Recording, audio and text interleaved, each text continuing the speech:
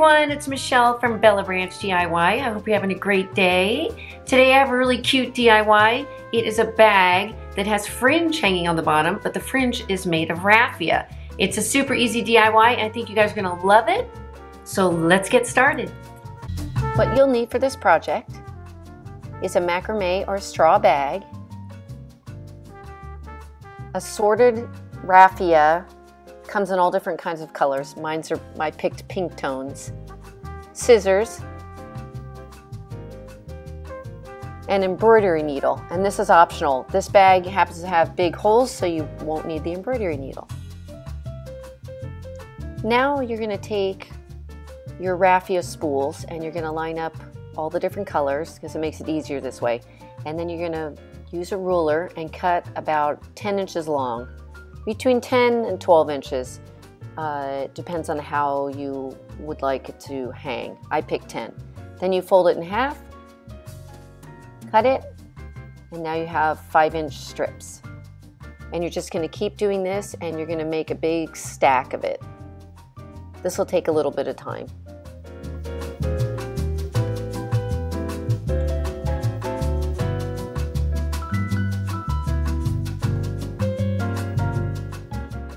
Next, you're going to take your little raffia, fold it in half with the loop side down, and then you're going to feed it through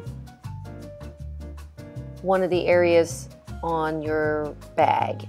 And you want to face the loop downwards so that when you flip it and pull the two ends through, it'll hang downwards. If you do it the other direction, then the tail is going to hang upwards, which you don't want. And then you're just going to keep doing this. I'm not gonna lie, this took a little bit of time to do. I think it took probably two hours, but what I did was I downloaded a book from Audible, which Audible is awesome, and it was kind of therapeutic when I was working on this and listening to a story at the same time. And you're just gonna keep doing this until you fill the bottom. I did it about three inches up from the bottom and then I just kept filling it in the way that I liked it. Um, and you, should, you can just alter that as you do it. But I think it turned out so cute. Look how full that is on the one side right there. And then I just filled in the rest of it.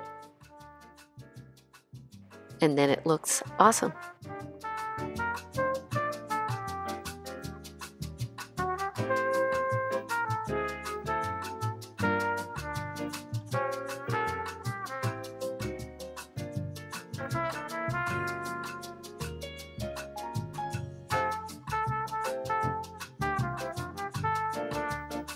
I hope you guys loved today's DIY. I think it turned out great. I wanna know what you guys think. Be sure to comment and let me know. And also be sure to let me know if you make this project and what you did with it because there's so many different variations and so many different bags that you can do this to. If you're not already subscribed, be sure to subscribe and click the bell so you're alerted of new DIYs. And I've also put um, a link in the description for all the supplies that I used. So I hope you guys have an awesome day, and until next time, bye.